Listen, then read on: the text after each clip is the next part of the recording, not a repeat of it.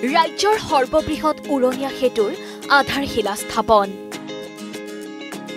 প্ৰায় তিনি কিলোমিটাৰ দৈৰ্ঘ্যৰ হ'ব উৰণীয়া সেতু।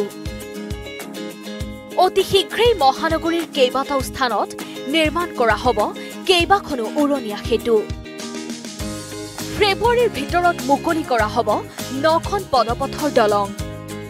মহানগৰীত বৃদ্ধি যান জঁটৰ সমস্যা সমাধানৰ বাবে ৰাজ্য চৰকাৰৰ আন এক গুৰুত্বপূৰ্ণ পদক্ষেপ। দেওবাৰে স্থাপন কৰা হয় ৰাজ্যৰ ভিতৰতে সৰ্ববৃহৎ উৰণীয়া সেতুৰ আধাৰশিলা। মুখ্যমন্ত্ৰী সৰ্বানন্দ সোণোৱালে স্থাপন কৰে মালিগাঁও কামাখ্যা গেট সংযোগী উৰণীয়া সেতুৰ আধাৰশিলা। ৱাই আকৃতিৰ হ'ব এই উৰণীয়া সেতু। প্ৰায় তিনি কিলোমিটাৰ দৈৰ্ঘ্যৰ এই উৰণীয়া সেতু। নিৰ্মাণৰ বাবে ব্যয় কৰা হ'ব চাৰিশ বিশ দশমিক সাত পাঁচ কোটি টকা। আগন্তুক ত্ৰিশটা মাহৰ ভিতৰতে নিৰ্মাণ কৰা হ'ব মালিগাঁও কামাখ্যা গেট সংযোগী উৰণীয়া সেতুখন। নিৰ্মাণৰ সময়ছোৱাত সৃষ্টি হ'বলগীয়া সমস্যাসমূহৰ বাবে ৰাইজক মানসিকভাৱে প্ৰস্তুত হ'বলৈ আহ্বান মুখ্যমন্ত্ৰী সৰ্বানন্দ সোণোৱালৰ।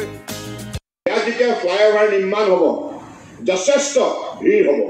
আৰু যাতায়াতৰ ক্ষেত্ৰতো কিছু দুবছৰৰ বাবে কিছু অসুবিধাৰ সন্মুখীন হ'ব। গতিকে ৰাইজে কিন্তু এই অসুবিধাবিলাক সন্মুখীন হোৱাৰ বাবে এতিয়াৰ পৰাই মানসিকভাৱে প্ৰস্তুতি চলাব লাগিব। আপোনালোকে যাতে বিৰক্তি ভাৱ প্ৰকাশ নকৰে। আনহাতে এই ফ্লাইঅভাৰে গুৱাহাটী উত্তৰ গুৱাহাটীৰ যাতায়াত সুচল তথা কম সময়তে সম্ভৱপৰ হোৱাৰ কথা এই অনুষ্ঠানতেই উপস্থিত থাকি প্ৰকাশ কৰে মন্ত্ৰী ডক্টৰ হিমন্ত বিশ্ব শৰ্মাই। ইয়াৰ সমান্তৰালকৈ মন্ত্ৰী হিমন্ত বিশ্ব শৰ্মাৰ কেইবাটাও বৃহৎ ঘোষণা। অতি শীঘ্ৰেই ৰেহাবাৰী লখৰা বশিষ্ঠ বাইহাটা চাৰিআলিত উৰণীয়া সেতু নিৰ্মাণৰ পৰিকল্পনা ৰাজ্য চৰকাৰৰ। সমান্তৰালকৈ আগন্তুক মহানগৰীৰ নখনকৈ পদপথৰ দলং মুকলি কৰা হ'ব। এই কথা প্ৰকাশ কৰিছে মন্ত্ৰীগৰাকীয়ে। পৰা চিপাঝাৰৰ পৰা মঙলদৈৰ পৰা যেতিয়া জনসাধাৰণ আহিব। তেওঁলোকে জালুকবাৰী আৰু মালিগাঁৱত থিয় হ'ব নালাগে।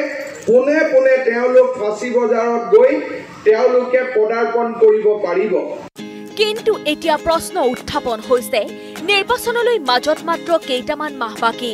তেনে ক্ষেত্ৰত প্ৰকৃততে নিৰ্মাণ হ'বনে উৰণীয়া সেতু নে ৰাজ্যত আৰম্ভ হৈছে আধাৰশিলাৰ ৰাজনীতি? সেয়া সময়তহে লক্ষণীয় হ'ব। গুৱাহাটীৰ পৰা টফিকুদ্দিন আহমেদৰ ৰিপৰ্ট আছাম টকছ